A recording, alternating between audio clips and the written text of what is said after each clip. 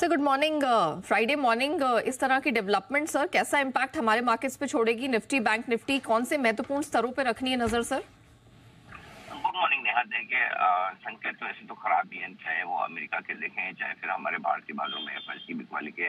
ये दोनों ही ट्रिगर कमज़ोरी के और उसके ऊपर जो ये खबरें आती हुई दिख रही है। अब देखना होगा कि कितनी सही है और कितनी बड़ी है। आ, ये देखना ज़रूरी है क्योंकि इमीडिएटली जैसे खबर आती तो एक बार वो नीजक रिएक्शन जो आपको नज़र आता है, वो आपको डाउ फ्यूचर्स में और बाकी एशियाई बाजारों में होता हुआ दिख रहा है गिफ्ट निफ्टी पर होता हुआ दिख रहा है। तो इस, ये तो डेवलपिंग स्टोरी है तो इस पर नज़र रखनी होगी। लेकिन इसके अलावा भी हमारे लिए संकेत कोई अच्छे तो है नहीं, चाहे हमारे लोकल देख लें, चाहे ग्लोबल देख लें। तो ऐसे में कमज़ोर तो होना है।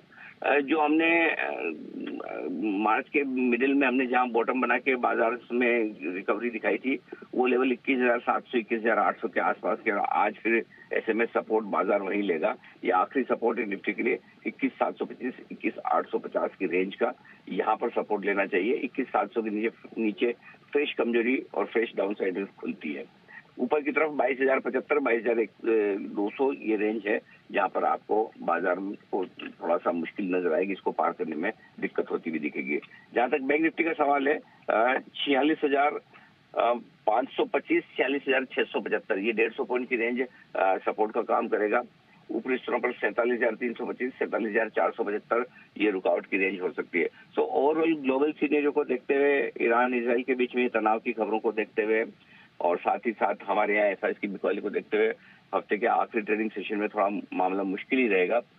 तो थोड़ा कमज़ोरी वाला रुझान बाज़ार में रहने की आशंका तो ट्रेडर्स के लिए एक ही राय है जो हम लगातार कह रहे हैं कि शुक्रवार तक आप बिल्कुल हल्के रहिए दिन के लिए भी और ओवरनाइट पोजीशन में भी आप देखिए किस तरह से बाज़ार उतार चढ़ाव दिखा रहे हैं।